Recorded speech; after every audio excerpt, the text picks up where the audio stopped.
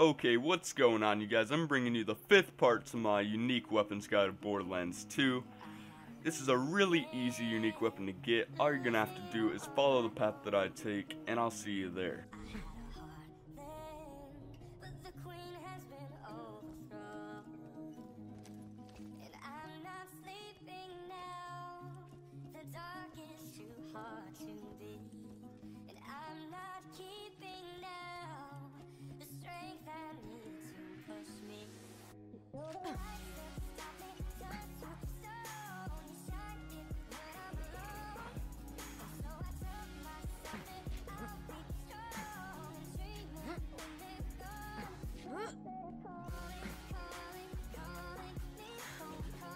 Okay, so once you get to this point, you're gonna go through the tunnel and past this small cliff here, and right in this pool of water, you're gonna find the unique weapon. It's always gonna spawn here. It's very easily farmed, and you can get it anytime, any level.